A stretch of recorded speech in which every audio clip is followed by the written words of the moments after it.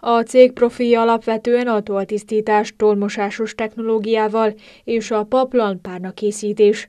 Ebből kifolyólag el van különítve egy szolgáltatási része a cégnek, és van egy prémium webshopjuk is, ahol a termékeiket ajánlják.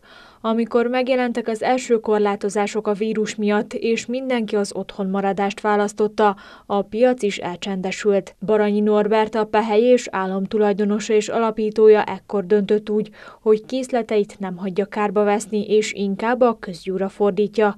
Az általuk forgalmazott alapanyagokból jó minőségű maszkokat kezdtek el gyártani. Az alapanyag, amivel dolgozunk, ez 100% pamut angin, Valójában ezek nem olyanok, mint a régi hagyományos vastag kikészítésű anginok, ezek a mai modern sejem anginoknak is mondott textíliák már egy vékonyabb cérnafonállal készült, sűrűbb szövésű, 100% pamutból készült természetesen, és felnőtt méretben kezdtünk el gyártani, de már megtalálható nálunk gyerek méretben is, mert hogy a szülőnek vagy a gyereknek is szüksége van most már rá lassan.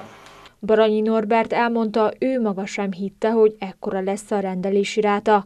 Már ezernél is több maszkot gyártottak. Ajánlottunk már fel többször maszkokat, jótékonysági célra a Makolyi önkormányzatnak, a Szegedi Begyőzeti Klinikának, de nagyon sokszor magánszemélyeknek is adtunk már, akik nem tehetik meg, hogy vásároljanak. A profitnak a nagy részét visszafordgatjuk természetesen maszkgyártásban, tehát nem az a célja a cégünknek, hogy ebből meggazdagodjon. Mint megtudtuk, adományaikkal továbbra is az önkormányzatokat célozzák meg, hiszen ők azok, akik a legjobban tudják, hol van nagyobb szükség a védőfelszerelésre.